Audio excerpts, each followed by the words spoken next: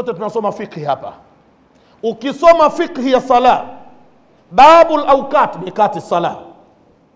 Tumefundishwa namna ya kutambua kuwa sala ya alfajiri imeingia. Tumefundishwa. Alamatu tului lfajri sadiq tumefundishwa.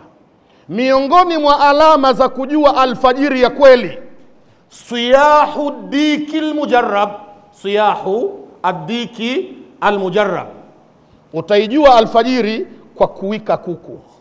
Lakini sheria haisemi kuku tu yoyote lazima awe amesifiwa. Adiki almujarrab ni yule kuku ambaye akiwika hakosei. Ni alama ya alfajiri. Na sisi watu wengi tumezaliwa mashamba. Tumezaliwa vijijini na watu wazima wako hapa. Na hakuna raha sana kama kuwa mtu wa shamba.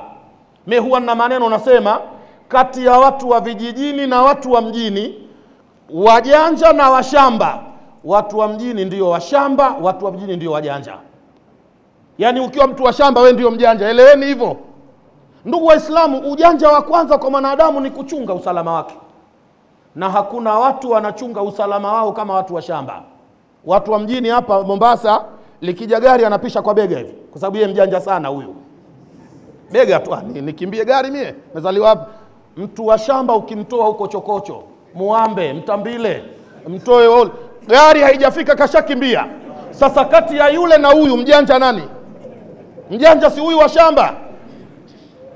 Tamam. Kwa hiyo turudini madarasani tukasome na mitandao tusiiwache tuikumbatie. Nayo pia itatusaidia. Tusikae kwenye mitandao ndio shekhe wetu tutaangamia. Tutaangamia. Wallahu waliyu